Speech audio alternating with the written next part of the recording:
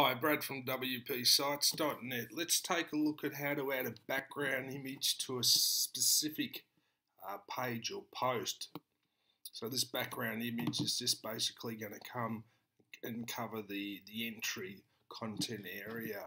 So uh, here's, here's the page that we've chosen. Now there's two steps involved. We need to inspect the source code and find the post of the page ID. So we just put the mouse cursor here, uh, click on view page source, and we'll scroll down to the body class section. So you can see down here on the left hand side, we've got a page ID of 628. So this is a single page.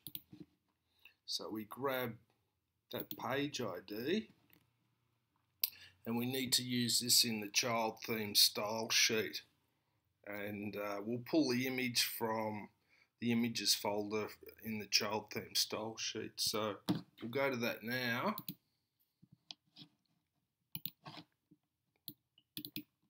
we go to themes. Uh, this is the theme we're using. We'll go to the style sheet. And at the bottom of the style sheet, we'll just add this page ID. Now we need to find out what class is used for this entry content area. So what we can do is use a visual markup guide. This is called the Genesis Visual Markup Guide and it's a really good uh, map basically that shows you all the different classes that's used on the page. So this is the class we want here so it affects the uh, the entry content area. So we add the entry class. So dot entry, and then we just add the the declaration for the background image.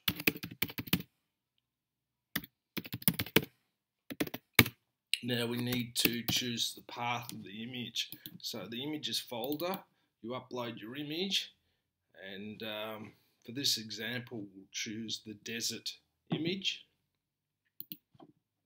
So the URL will be images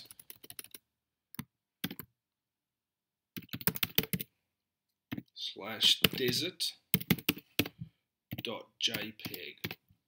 So you've got to make sure you get the path to the image right.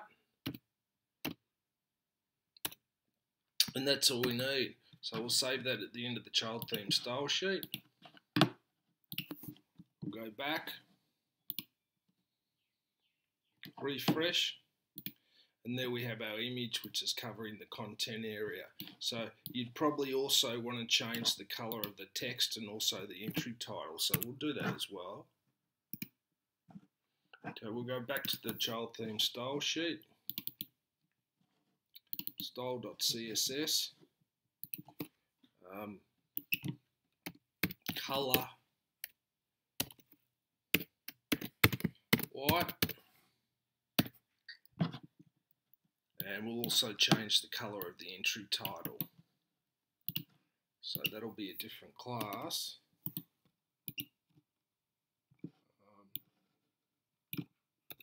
we use that CSS and the class for the entry title is entry title. Okay, so we'll save that.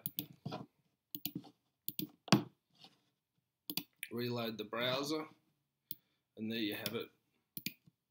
So if we go to any other page, the image is not displaying on any other pages. It's only displaying on one specific page. So uh, that's it from WPSites.net. Cheers.